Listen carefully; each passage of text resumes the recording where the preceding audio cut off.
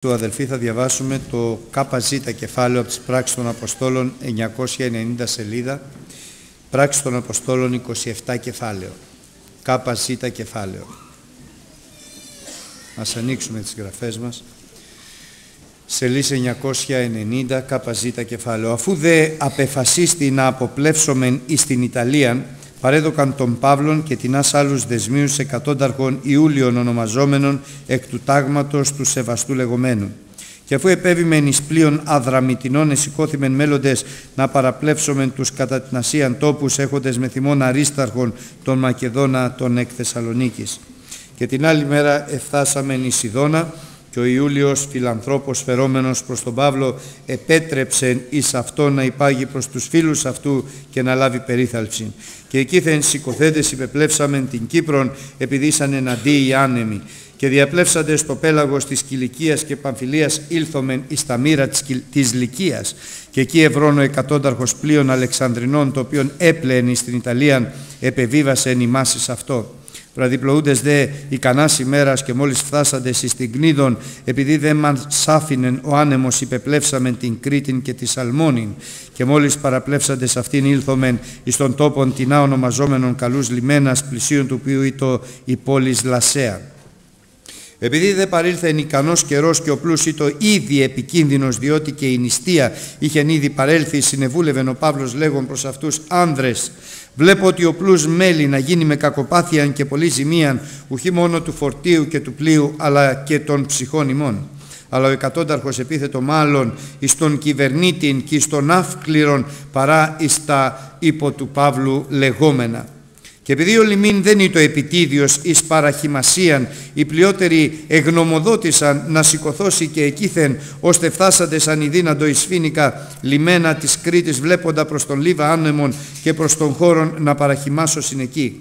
Και ότε έπνευσεν ο λίγος νότος, νομίσαντες ότι επέτυχον του σκοπού ανέσυρον την Άγκυραν και παρέπλεον πλησίον την Κρήτην πλην με το λίγον προσέβαλε κατά αυτής άνεμος τυφωνικός και λεγόμενος ευρωκλίδων και επειδή το πλοίον συνειρπάστη και δεν είναι δύνατον αντέχει προς τον άνεμο να φεθέτε σε φερόμεθα και τρέξαντες υπονησίδιον τι ονομαζόμενον κλάβδιν μόλις ειδηνήθημεν να βάλομεν στην εξουσία μας τη Λέμβον την οποία αφού ανέλαβον μετεχειρίζοντο βοηθήματα ζώνοντες υποκάτωθεν το πλοίον και φοβούμενοι μην εκπέσωση στην σύρτην κατεβίβασαν τα πανία και φέροντο ούτως και επειδή έχει μαζόμεθα σφοδρό στην ακόλουθον ημέραν έκαμνον χύσιν.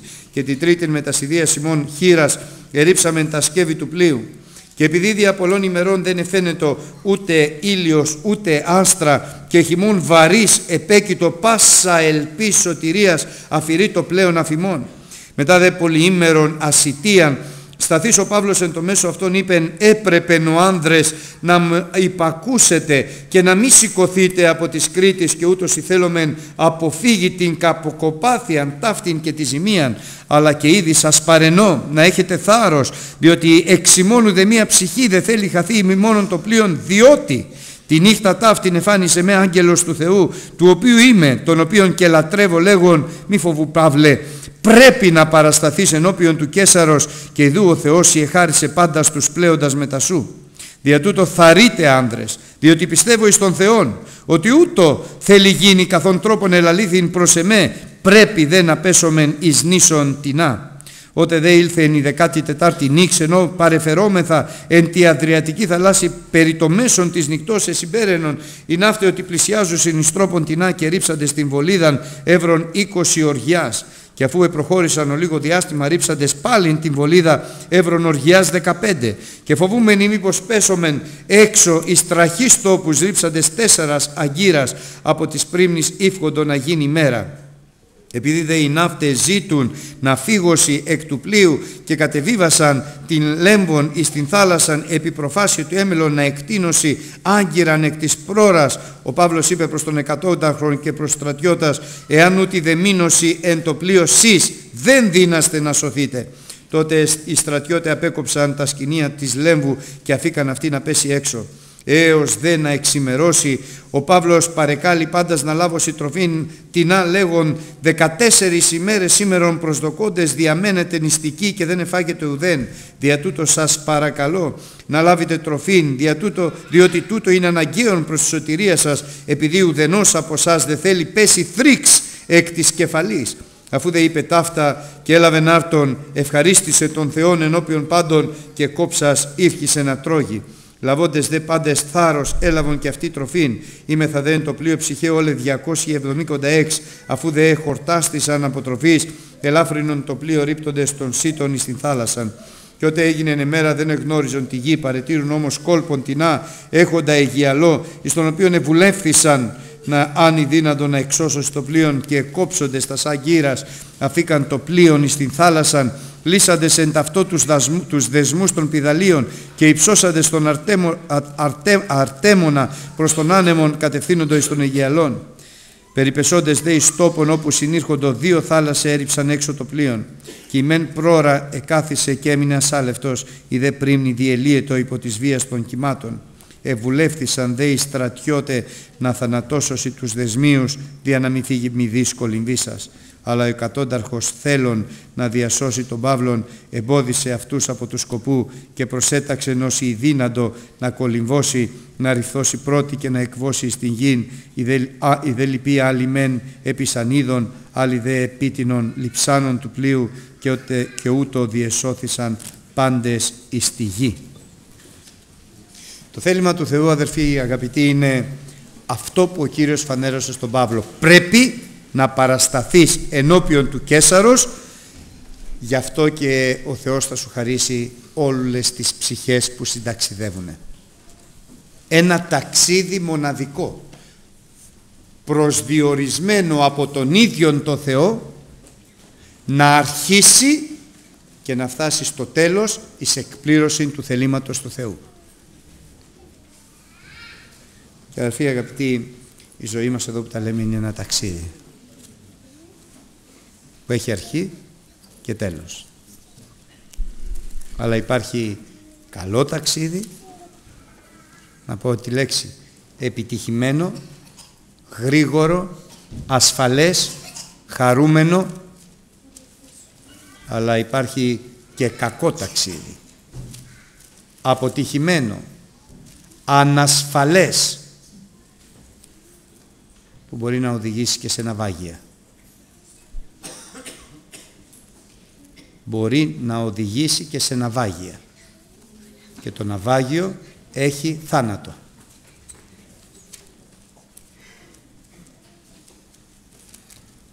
Το δικό σου το ταξίδι.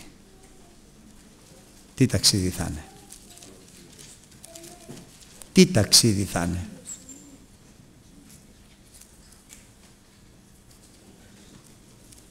Και αδερφοί αγαπητοί, θα πάρουμε το ταξίδι, όχι του Παύλου, θα πάρουμε το ταξίδι του Ιούλιου του εκατόνταρχου. Ένα ταξίδι. Δεν ξέρει το μέλλον. Του εμπιστεύθηκαν κάποιους κρατούμενους, κάποιες ψυχές ανθρώπων, να τις παραλάβει από εκεί που βρισκότανε και να τις πάει στη Ρώμη. Αν θέλουν να μην μιλάνε τα παιδάκια ή να πάνε πίσω. Έχει μία αποστολή.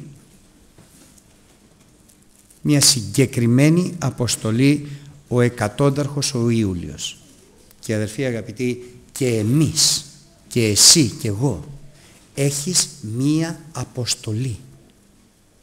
Πιθανόν η αποστολή σου να είναι η γυναίκα σου, ο άντρας σου, η οικογένειά σου, τα παιδιά σου ή οτιδήποτε άλλο ο Θεός σου έχει εμπιστευθεί.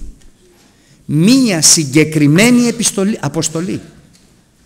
Και είναι ανάγκη να το καταλάβουμε. Δεν είμαστε στην τύχη. Δεν βρεθήκαμε εδώ επειδή έτυχε ο πατέρας μας, μας και η μητέρα μας. Τα πάντα αδελφοί αγαπητοί είναι κάτω από την κρατεά χείρα του Κυρίου. Και σήμερα το κατάλαβα πάρα πολύ καλά. Μα δεν το ήξερα. Σήμερα το κατάλαβα πάρα πολύ καλά. Ενώ το πρωί προσευχόμουν και διάβαζα, σκέφτηκα αυτό το ταξίδι, αυτό το πλοίο και είδα και το χάρτη, τη Μεσόγειο μια απέραντη θάλασσα και ανάμεσα σε αυτή τη θάλασσα μία κουκιδίτσα. Η Μάλτα, η Μελίτη. Το πλοίο ακυβέρνητο από ανέμους ταλαιπωρούμενο μέσα σε αγκάθια και σε τσουκνίδες κάποιος το οδήγησε και δεν έχασε το δρόμο του και έφτασε στη Μάλτα. Γιατί έπρεπε να φτάσει ο Παύλος στη Ρώμη. Και όταν το σκέφτηκα αυτό έμεινα έκπληκτος. Και εκείνη τη στιγμή ήρθε ο Κύριος και μου λέει γι' αυτό την έφτιαξα τη Μάλτα. Κύριε Θεέ μου αδελφοί διαλύθηκε η ψυχή μου. Όταν δημιουργούσα τη γη γι' αυτό το ταξίδι έφτιαξα τη Μάλτα. Για να πάει ο Απόστολος Παύλος στη Ρώμη για να κηρύξει το Ευαγγέλιο. Αυτό το ταξίδι έχει αποστολή το δικό σου το ταξίδι έχει αποστολή η δική σου η ζωή έχει αποστολή και όλα είναι φτιαγμένα προκαταβολής κόσμου για να διευκολυνθεί η αποστολή σου σωστά, σωστότερα για να πραγματοποιήσεις την αποστολή σου. Και δεν μπορείς να ξέρεις ποια είναι η αποστολή σου. Ο Ιούλιος, ο εκατόνταρχος δεν ήξερε ποια ήταν η αποστολή του. Η αποστολή του ήταν και όλα ήταν προετοιμασμένα και τοποθετημένη εκεί ακριβώς η Μάλτα γιατί δεν είχε λόγο ύπαρξη σε αυτό το σημείο να οδηγηθεί από τους ανέμους τους φοδρούς για να διασωθεί η ζωή του Παύλου από την ανοησία, την αφροσύνη, την ασέβεια των ανθρώπων στους οποίους ο Θεός εμπιστεύθηκε τον Παύλο. Αδερφοί αγαπητοί, στη ζωή μας έχουμε μία μάλτα φτιαγμένη από το Θεό. Γιατί ο Θεός ξέρει τα λάθη μας. Ξέρει την αφροσύνη μας. Αλλά το μήνυμα δεν είναι αυτό. Το μήνυμα είναι ότι ο Χριστός θέλει να σε μάθει. Υπάρχουν δύο τρόποι για να εκτελέσεις την αποστολή σου. Η μία μέσα από αγκάθια και τσουκνίδες. Και άλλη μέσα από την ευλογία του Θεού. Από τη χάρη του Θεού από την ασφάλεια του Θεού, από τη δόξα του Θεού. Ο Ιούλιος το έμαθε στην πράξη μέσα σε αγκάθια και σε τσουκνίδες. Η χάρη του Χριστού, η αγάπη του Θεού, η κοινωνία του Πνεύματος του Αγίου θέλει σήμερα να το μάθουμε όχι μέσα από αγκάθια και τσουκνίδες αλλά μέσα από τον ευλογημένο και Άγιο Λόγο του Θεού που πρέπει να φτάνει στην καρδιά μας δια Πνεύματος Αγίου. Σήμερα είναι η ευκαιρία για να αποφύγεις τις τσουκνίδες ώστε να εκτελέσεις την αποστολή σου. Ο ασεβής ας εγκαταλείπει την οδόν του και ο άδικος ας εγκαταλείπει το θέλημά του. Σήμερα αδελφοί αγαπητοί να μετανοήσουμε. Δεν θα μετανοήσουμε από τις αμαρτίες μας. Δεν θα μετανοήσουμε από αυτές μετανοούμε κάθε μέρα. Ουδής αναμάρτητος. Τις γνωρίζουμε, τις εννοούμε, μετανοούμε, τις καταδικάζουμε, ζητάμε το αίμα του Χριστού. Αλλά δεν φτάνει αυτό. Για να εκπληρώσεις πρώτον με ασφάλεια δεύτερον την αποστολή που έχεις. Δεν ήρθες εδώ για να περάσεις μια ζωή και να φύγεις. Ήρθες εδώ για να εκτελέσεις μια αποστολή και να εισέλθεις έντοξα στη Βασιλεία των Ουρανών. Η εκτέλεση της αποστολής σου θα δημιουργήσει την ασφάλεια της εισόδου σου πλουσίως δια των πυλώνων στη Βασιλεία των Ουρανών. Αδελφοί, αμήν. Αμήν, Χριστέ μου. Ο καημένος, ο Ιούλιος που δεν είναι καθόλου καημένος, ευλογημένος είναι γιατί ο Χριστός τον διάλεξε. Τον διάλεξε γιατί είδε την καρδιά του ότι είναι κατάλληλη. Από όλους εκείνους που ήταν δίπλα του και υπήρχαν στη γη ο Χριστός τον διάλεξε γιατί ήταν ο πιο κατάλληλος για αυτή τη συγκεκριμένη αποστολή. Και σένα και μένα και όλους μας. Ο Χριστός μας διάλεξε γιατί είμαστε οι πιο κατάλληλοι για αυτή τη συγκεκριμένη που δεν την ξέρουμε Και ίσως ποτέ δεν την καταλάβουμε. Εκεί θα τη μάθουμε. Αλλά είσαι ο πιο κατάλληλος. Ο κεχρισμένος του Κυρίου. Ο πιο κατάλληλος. Για να εκπληρώσεις την αποστολή σου. Πρόσεχε. Αγρύπνη. Προσεύχου. Για να προπορεύεται πάντοτε στη ζωή σου ο Χριστός. Δηλαδή για να ακολουθείς εσύ πάντα το Χριστό. Ώστε ο Χριστός να προπορεύεται στη ζωή σου ο καημένος, ο ευλογημένος, Ιούλιος Εκατόνταρχος, όταν του παρεδόθησαν, που δεν θα ήταν η πρώτη φορά ούτε και η τελευταία, αλλά είναι εκείνη η ξεχωριστή φορά. Όταν του παρεδόθησαν 276 ψυχές, που ανάμεσα σε αυτές ήταν και ο Παύλος, δεν κατάλαβε τι συνέβη. Φτάσανε στο πλοίο και το πλοίο ξεκίνησε την πορεία του και το ταξίδι του. Κύριε Θεέ μου. Αδερφοί, είμαστε σε αυτό το ταξίδι. Κάθε ένας στο δικό του ταξίδι. Και έτσι θέλω να σας ευχηθώ μέσα από την ψυχή μου και σε όλους μας, σαν να μας εύχεται ο Θεός. Καλό ταξίδι, αδερφοί. Είναι πολύ σημαντικό να έχουμε καλό ταξίδι. Να μην πέσουμε σε τρικυμίες, σε φουρτούνες, αλλά και αν πέσουμε να υπάρχει ο Χριστός μέσα στο πλοίο μας να τις καθησυχάσει αλλά ιδιαιτέρως να φτάσουμε χωρίς κακοπάθεια και ταλαιπωρία στο τέλος της οδού μας.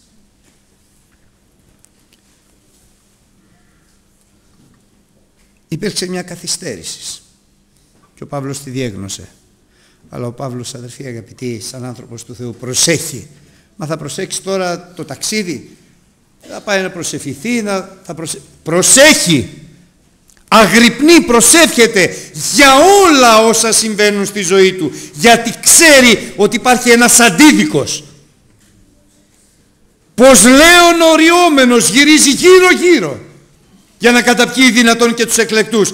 Για να σταματήσει, για να καταστρέψει την αποστολή που ο Χριστός δίνει στο δικό του δούλο στο δικό του παιδί, στο δικό του άνθρωπο. Είναι ένας αγώνας πνευματικός. Και δεν ξεχνιέται ο Απόστολος Παύλος. Δεν λέει δεν είμαι ναυτικός, αλλά ξέρει ότι ο καλύτερος ναυτικός είναι ο Ιησούς Χριστός. Λέει δεν είμαι ναύκληρος, αλλά ξέρει ότι ο καλύτερος ναύκληρος είναι ο Ιησούς Χριστός. Ο καλύτερος κυβερνήτης είναι ο Ιησούς Χριστός. Και έχει γνώμη και δεν νομίζει, ξέρει. Γιατί η γνώμη του είναι η γνώμη του Χριστού. Αλληλούια. Και όταν διέγνωσε και διεπίστωσε την ταλαιπωρία, φώναξε τον κυβερνήτη, τον άφκληρο ιδιαιτέρως τον Ιούλιο, τον εκατόνταρχο και άκουσε τώρα ο εκατόνταρχος βρέθηκε ανάμεσα σε δύο γνώμες να διαλέξει Άνδρες πρέπει να σταματήσουμε εδώ που βρισκόμαστε στην Κρήτη γιατί βλέπω να γίνει με κακοπάθεια ο πλούς, με πολύ μεγάλη ζημιά και όχι μόνο του φορτίου και του πλοίου αλλά και των ψυχών μας. Αυτό βλέπω λέει ο Παύλος.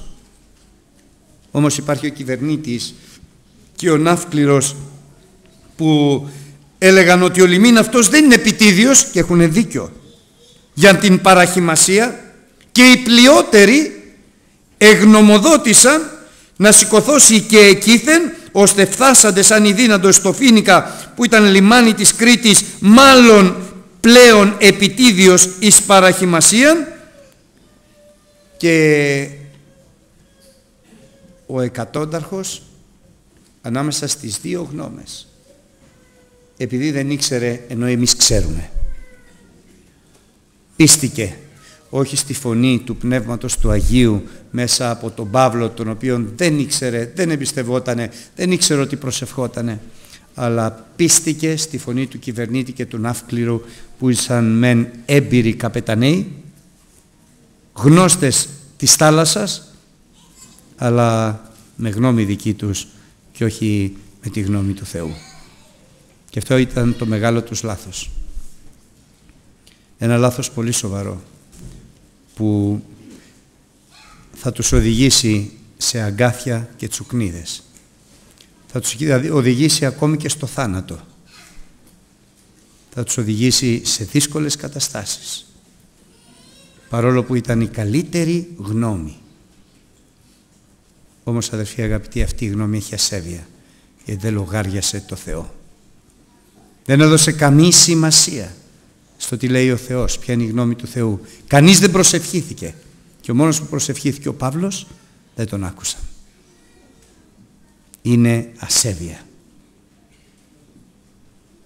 Να αποφασίσεις επειδή τα βλέπεις λογικά, φυσιολογικά και να βεβαιώνεσαι ότι αυτό είναι το σωστό χωρίς να ρωτάς το Θεό. Τι ωραία αδερφοί αγαπητοί. Εκείνη τη στιγμή να ήξερε ο εκατόνταρχος και να έλεγε να προσευχηθώ. Να μου οδηγήσει ο Θεός, να μου μιλήσει ο Θεός. Οδηγεί, μιλάει ο Θεός. Αλληλούια. Αν μιλάει, αν οδηγεί, πώς θα εκφράσει το θέλημά Του. Πώς θα μας οδηγήσει. Πώς θα μας προφυλάξει. Όμως ο εκατόνταρχος δεν το ήξερε, γι' αυτό και δεν το λογάριασε. Και λέει η Γραφή και όταν έπνευσαν, έπνευσεν ο λίγος νότος νομίσαντες ότι επέτυχον τους σκοπού τους ανέσυραν την Άγκυρα και παρέπλεον πλησίων της Κρήτης. Έτσι νόμισαν ότι πετύχαμε το σκοπό μας. Όμως ξαφνικά πλην με το λίγον προσέβαλε κατά αυτής άνεμος τυφωνικός, ο λεγόμενος Ευρωκλείδων, το πλοίο συνειρπάστη, δεν μπορούσε να αντέχει στον άνεμο, εφέρε το ελεύθερο και τρέξαντες υπονησίδιον τι ονομαζόμενον κλάβδιν μόλις συνδυνήθημεν να βάλουμε στην εξουσία μας την Λέμβον, την οποία αφού ανέλαβον μετεχειρίζονται βοήθηματα ζώνοντες υποκάτωθεν του πλοίου και φοβούμενη μη εκπέσωση εις τη σύρτην κατεβίβασαν τα πανία και εφέροντο ούτως. Και ευτυχώς που υπήρχε και ένα μικρό νησάκι εκεί κοντά, οι κλάβδοι, που μπόρεσαν και έδεσαν το πλοίο για να μην ανοίξει. Τι ωραίο που είναι το σχέδιο του Θεού. Όλα τα έχει έτοιμα. Σου δώσω την ευκαιρία να δέσεις και το πλοίο σου γιατί έρχεται φουρτούνα μεγάλη. Έρχεται κακοπάθεια, έρχεται ταλαιπωρία. Και δια πολλών ημερών δεν έφερνεται ούτε ήλιος ούτε άστρα και γυμών βαρύς επέκητο και πάσα ελπίς σωτηρίας αφηρεί το πλέον αφημών. Και έφτασαν στην απελπισία. Καμία ελπίδα. Ούτε ήλιος, ούτε φως, ούτε σελήνη, ούτε αστέρια, αλλά τρομακτικός άνεμος.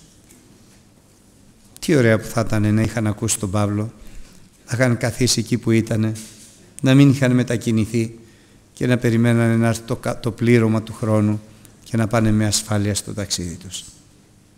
Να ο δρόμος λοιπόν της ευσέβειας. Ο δρόμος της ευσέβειας είναι η φωνή του Κυρίου. Να ο δρόμος της ασέβειας είναι η γνώμη του κυβερνήτη και του ναύκληρου. Ποια να είναι άραγε η οδός της ευσέβειας για μένα;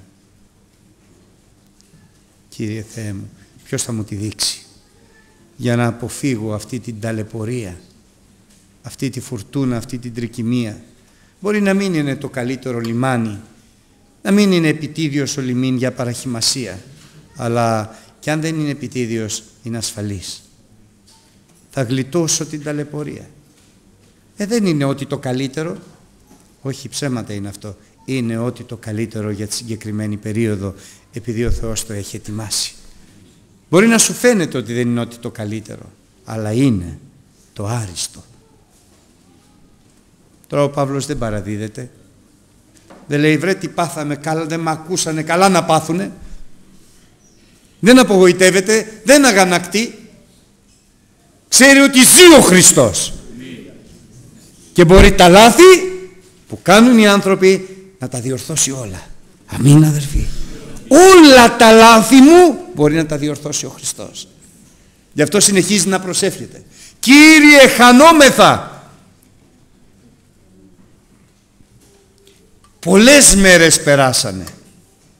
τσουκνίδες και αγκάθια, ασυτεία, φόβος, ταλαιπωρία.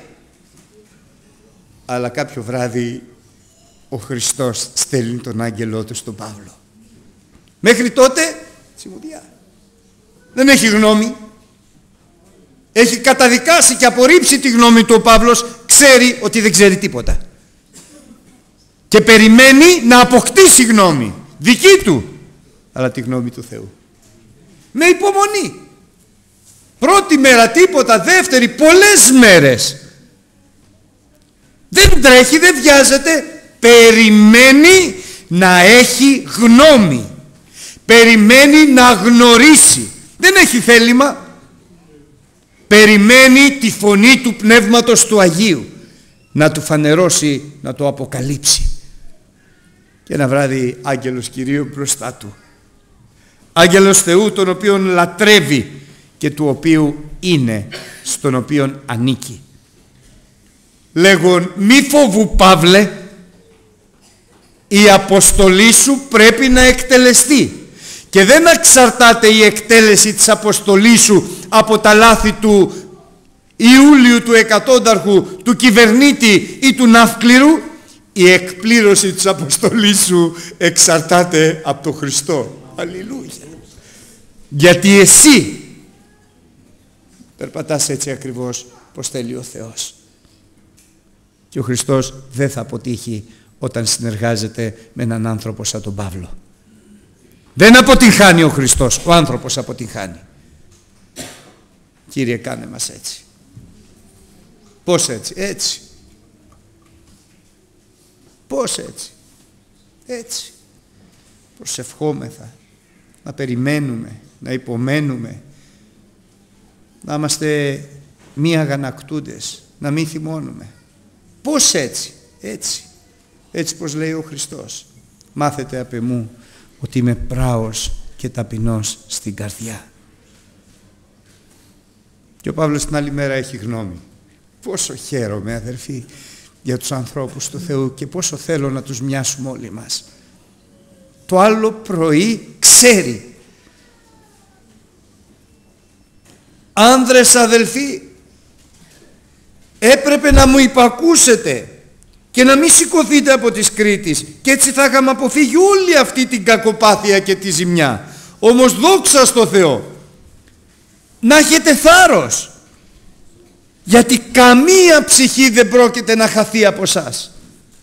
Όλα θα χαλάσουν, όλα θα καταστραφούν, όλα θα γκρεμίσουν. Αλλά τις ψυχές μας θα τις διατηρήσει ο Κύριος. Γιατί πρέπει να φτάσω στη Ρώμη. Τώρα με τι αυτιά ακούει ο εκατόνταρχος ο Ιούλιος; Με καινούργια αυτιά. Και πιστεύω αδελφοί αγαπητοί σήμερα να ακούμε και εμείς με καινούργια αυτιά. Τώρα δίνει πολύ μεγάλη σημασία στα λόγια του Παύλου. Τώρα δεν επηρεάζεται τόσο πολύ από τον ναύκληρο και από τον κυβερνήτη που τον οδήγησαν στο θάνατο, αλλά ενδιαφέρεται για τη φωνή του Πνεύματος του Αγίου που θα τον οδηγήσει στη ζωή, αλλά και στη χαρά, αλλά και στην ειρήνη. Και όταν περάσαν τα χρόνια λέει, ελάτε να φάτε, είναι καλό για σας, πρέπει να, οπωσδήποτε να φάτε. Για να αντέξετε. Γιατί μου είπε ο Κύριος ότι εδώ κοντά υπάρχει ένα νησάκι που το έχει φτιάξει προκαταβολής κόσμου για τη σημερινή μέρα και ο αέρας εκεί θα μας οδηγήσει. Τι ανοησίες λες Παύλο. Αδερφοί αγαπητοί, πολλές φορές ο λόγος του Θεού φαίνεται ανόητος, αλλά σε αυτιά ανοήτων. Όταν ο Παύλος πήγε στους σοφούς της Αθήνας και τους μίλησε για την Ανάσταση του Χριστού, γελάσανε και είπαν τι ανοησίες είναι αυτά που μας λες. Αλλά εμείς ξέρουμε αδερφοί αγαπητοί ότι ο Λόγος του Θεού είναι αλήθεια. Είναι η απόλυτη αλήθεια. Δεν σας λέω ότι κατάλαβα ότι θα πάμε σε νησί. Σας λέω ότι ο Χριστός μου είπε ότι θα αγκυροβολήσουμε σε νησί. Τώρα ο εκατόνταρχος πολύ μεγάλη προσοχή αλλά και είναι και η μόνη του ελπίδα. Είναι η μόνη του ελπίδα. Είναι η μόνη σου αληθινή ελπίδα. Ο Λόγος του Θεού. Δεν έχεις που άλλο να στηριχτείς. όπου αλλού και να στηριχτείς θα ναυαγήσεις. Ο Λόγος του Θεού θα σε οδηγήσει στον καλό λιμένα. Ο Λόγος του Θεού θα σε οδηγήσει στο προσδεκόμενο τέλος. Γιατί οι βουλές του Θεού είναι ευλογία. Καλές βουλές βουλεύεται ο Θεός για σένα. Καλές αποφάσεις έχει πάρει ο Χριστός για κάθε έναν από μας. Το δρόμο του να ακολουθήσεις. Τώρα ο Ιούλιος ο εκατόδαργος δεν έχει καμία άλλη ελπίδα. Ναι λέει στον Παύλο τρώνε όλοι μαζί. Και κάποια στιγμή συμπεραίνουν ότι το πλοίο πλησιάζει σε λιμάνι, σε νησί, σε ξέρα, σε γη. Ρίχνουν άγκυρες για να σταματήσει γιατί ήταν νύχτα μέχρι να ξημερώσει. Όταν ξημέρωσε είδαν το, τη Μάλτα. Και εκεί στη Μάλτα είδανε και ένα ωραίο λιμάνι. Και είπαν πώς θα φτάσουμε εκεί γιατί ο αέρας δεν σταμάτησε. Οι τσουκνίδες και τα γκάθια δεν έπαψαν. Αλλά ο Θεός έχει υποσχεθεί ότι θα εξέλθετε εν χαρά και εν ειρήνη. Και θα φτάσετε στον καλό λιμένα. Που θα έπρεπε να ήσασταν πάντοτε. Και θα ήσασταν αν δεν είχατε ακούσει τον κυβερνήτη και τον αύκληρο. Οδήγησαν το πλοίο όπως μπορούσαν αλλά είδαν τους ναυτικούς να προσπαθούν να κατεβάσουν την Λέμβο και είχαν πονηριά μέσα τους. Ο εκατόνταργος τίποτα δεν κατάλαβε. Και ο Παύλος δεν θα καταλάβαινε τίποτα αν το Πνεύμα το Άγιο Θεός ο καρδιογνώστης Θεός δεν τον ενημέρωνε ότι πάνε να την κοπανίσουν και εσείς θα πληγείτε. Και αμέσως γυρίζει και λέει στο εκατόνταρχο πρόσεξε αν αυτοί φύγουν εμείς δεν σωζόμαστε. Τώρα ο εκατόνταρχος απόλυτα ευπηθής, υπάκουος. Ξέρετε αδερφοί αγαπητοί, όταν μας αξιώσει ο Θεός να πάμε στον ουρανό θα τον γνωρίσουμε. Αυτός είναι θα λέγαμε εσύ είσαι βρε που κόντευες να πνιγείς. Δόξα στο Θεό. Εσύ ήσουν που διαβάζαμε εκεί στις πράξεις των Αποστόλων. Αλληλούια. Δόξα στο Θεό. Όταν τ' άκουσε στέλνει τους στρατιώτες, κόβουν τα σκηνιά, ρίχνουν τη λέμβο κάτω, τώρα δεν αστείευεται. Τώρα δεν παίζει. Τώρα έχει να κάνει με τον Κύριο. Τώρα τον άκουσε τον Παύλο που προσευχήθηκε και είπε Θεέ μου ευλόγησε τα φαγητά και σε ευχαριστούμε γιατί μας έσωσες. Γιατί στηρίζεται στο Λόγο του Θεού ο Παύλος και όχι στη γνώμη του. Προσπάθησαν να φέρουν το πλοίο, άραξε το πλοίο στην άμμο, η θύελα και τα κύματα γκρέμιζαν την πρίμνη, το πίσω μέρος του πλοίου και οι στρατιώτες θέλησαν να σκοτώσουν τους ε, κρατούμενους. Αλλά δεν κάνει άλλο λάθος ο εκατόνταρχος. Και σήμερα αδελφοί αγαπητοί να προσευχηθούμε να μην κάνουμε άλλο λάθος στη ζωή μας. Ούτε να θέλουμε, ούτε να νομίζουμε. Δεν κάνει άλλο λάθος. Λέει ας τους ανθρώπους ήσυχους που θα σας αφήσω τώρα να σκοτώσει τον Παύλο. Ο Παύλος πρέπει να πάει στη Ρώμη να κηρύξει το Ευαγγέλιο. Και όποιος ήξερε μπάνιο έπεφτε και έφτασε απέναντι. Και όποιος δεν ήξερε μπάνιο, άλλος με σανίδες, άλλος με οποιοδήποτε τρόπο, βγήκανε και κανένας δεν χάθηκε. Από εδώ και πέρα το ταξίδι θα είναι καλό. Δεν θα έχει προβλήματα. Όμως, αδερφοί αγαπητοί, μέσα από αυτή την ταλαιπωρία ο Χριστός βγάζει ευλογία. Και αυτό είναι ακόμη πιο ελπιδοφόρο, ότι μέσα από τα λάθη σου ο Θεός μπορεί να βγάλει πιο μεγάλη ευλογία. Καλό είναι να μην το κάνεις, αλλά και αν το κάνεις, εάν μετανοήσεις, ο Θεός θα βγάλει μεγαλύτερη ευλογία. Βγήκαν εκεί στην ε, Μελίτη, στη Μάλτα, μαζεύανε ξύλα για να ανάψουν φωτιά, να ζεσταθούν και μια οχιά πιάνεται στο χέρι του Παύλου όλοι αυτοί που τους υπεδέχθησαν φιλανθρώπος, οι βάρβαροι, που να ξέρανε ότι τους είχε φτιάξει ο Θεός για αυτή την περίοδο. Πω, πόσο, πόσο χάρηκα σήμερα. Πολύ χάρηκα. Ξέρεις θα πει να έχει ετοιμασμένες ο Θεός μάλτες στη ζωή μας για τα λάθη μας. Πω, δόξα να έχει το όνομά του. Αλληλούια. Είπανε οι βάρβαροι, βάρβαροι τους λέει η Γραφή, αυτοί οι άνθρωποι ότι αυτός ο άντρας φωνέας θα ανεγλίτωσε από την τρικυμία και τον έφερε ο Θεός εδώ για να τον φάει η οχιά. Έτσι νόμισαν. Αλλά ο εκατόνταργος δεν νομίζει πια. Ούτε και ο Παύλος. Το παίρνει, το πετάει στη φωτιά και δεν έπαθε τίποτα. Και γιατί ο Θεός το επέτρεψε, γιατί έβαλε αυτό το φίδι; Γιατί πρέπει να πιστέψουν όλοι οι Μαλτέζοι. Τον είδαν, Θεός είναι. Τι είναι ο άνθρωπος, ε; Πω, πω, τον έφαγε η οχιά και δεν έπαθε τίποτα. Θεός είναι.